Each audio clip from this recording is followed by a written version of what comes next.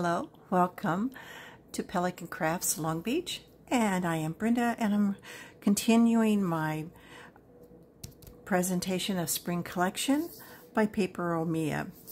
In an earlier video, I had showed you the 105 pages in the kit. Today, or on this video, I am going to show you the 23 page Ephemera kit. There are 14 pages that you can uh, print onto the back of the original 105 pages if you need a something on the back side. And then there are, aren't these just gorgeous?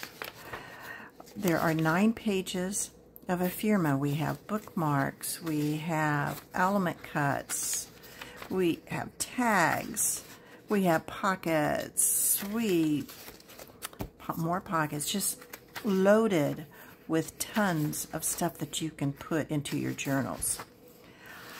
Thank you for joining me.